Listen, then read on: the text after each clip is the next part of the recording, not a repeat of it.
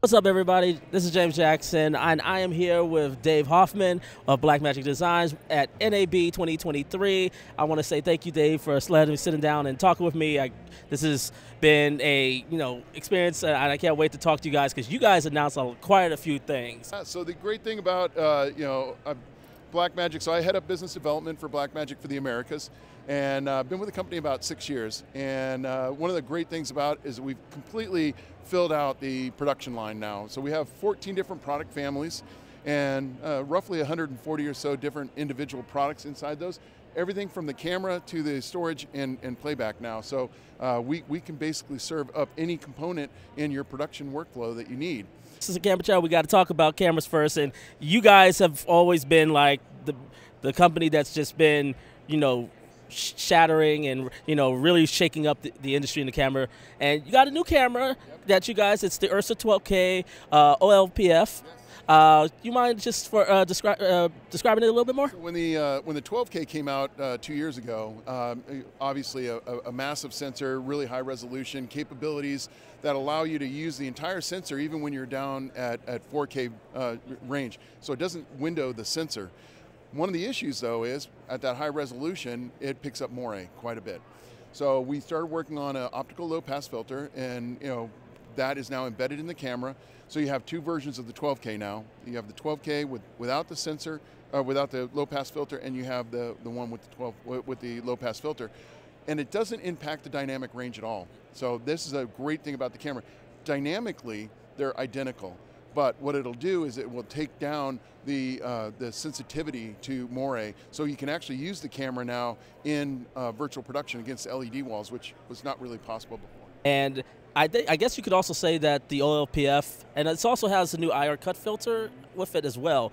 Um, I, I, one of the things I guess it would definitely, I, I, know for me, it's good. I like 12K is a lot of resolution, and sometimes you know for a lot of people, if you for that needs that you know very extra crisp quality, it's going to be great. For someone like me that likes a little bit more organic look, uh, OLPF definitely helps. It gets rid of all those artifacts as well. Um, and it's so, so yeah, it's basically the same camera.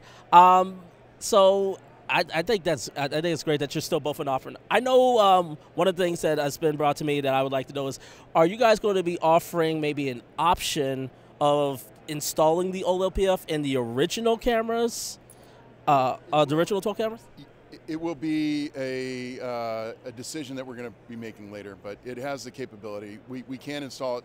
There's not a change in the manufacturing of the cameras, so it is possible. It's just a decision that we have to look at whether it's going to be something that we can do uh, through our support infrastructure. Okay. So, yeah. I got friends who who have that who have the 12K, and who have some of the original Ursa, Mini Pros and and looking at the 12K, uh, it's it's been definitely uh, a big eye catcher. Uh, I guess one of the things I would like to know is, you know, from a camera standpoint, what is sort of your philosophy in terms of because uh, the last few years we've seen how you've integrated a lot of your technologies from other cameras into into the other cameras.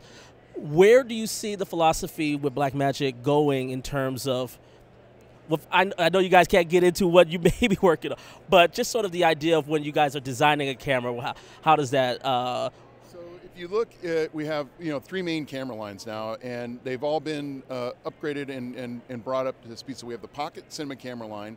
Um, then we have the studio line, which has a built-in uh, monitor, and we've we've up we've updated that, and then we have the Ursa line, right? So when we're looking at where we're uh, where we're performing and what those uses are, the studio obviously by the name is, is used as a studio camera, but the Pocket and the Ursa lines are both cinema cameras, but can be used as ENG cameras as well.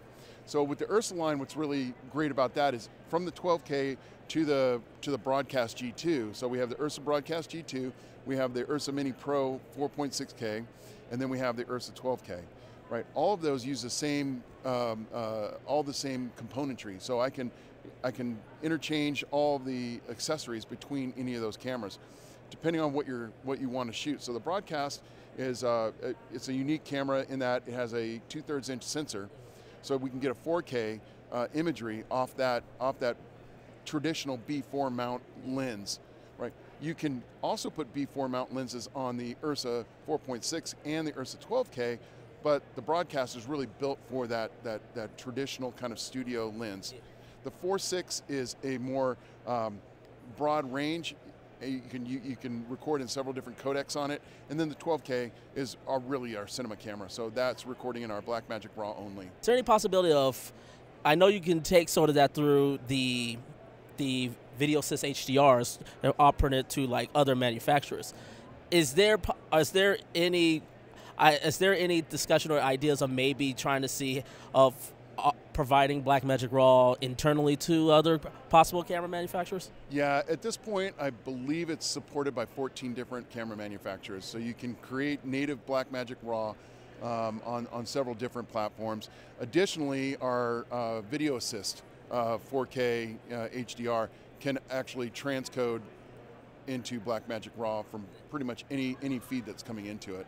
And with the video assist, is there a limitations in terms of resolution, aspect ratios, or frame rates? Because I know right now, I think, I think like majority of it is 4K. I think there's like the some of the Panasonic cameras can use their 5.9K. Is there is there a limitation on what possibly the, or is there possibly of opening up to higher resolutions and higher uh, different aspect ratios? So, yeah, that's a that's a good question. I really don't have the answer on that one right now. I mean, the the video assist is uh, is is really actually one of my favorite products in, in, in all of Blackmagic. It's a very utilitarian product. Whenever I'm on a shoot, I always have one with me. I can use it to do signal analysis. I can use it to do uh, recording and playback. So if I'm doing, you know, uh, uh, continuity checks and things like that, um, you can record uh, internally on it with the SD cards, or you can have an external SSD you record on it.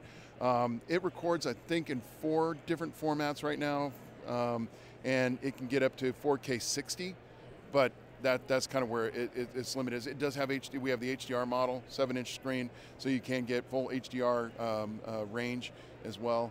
Um, but uh, yeah, we're always you know we're always improving our products and, and taking in uh, you know whatever the new uh, uh, you know, whatever people are kind of looking for. But right now, that that's the highest it is right now. Yeah, a 12K version of the uh, video assist would be interesting. Yeah, no, that would I think. Um, media cars are going to cry.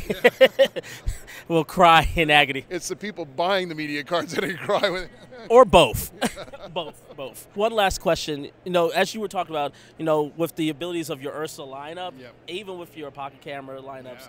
there's a, a wide range of mount options. Uh, you got the B- B4s for your more ENG broadcasts. Yep. Uh, you got your micro four thirds for your pocket 4K, yep. and then you got the EF EF, so so we, we cover the whole Canon range yeah. there, and then the PL mounts yeah, for all your prime. Yeah.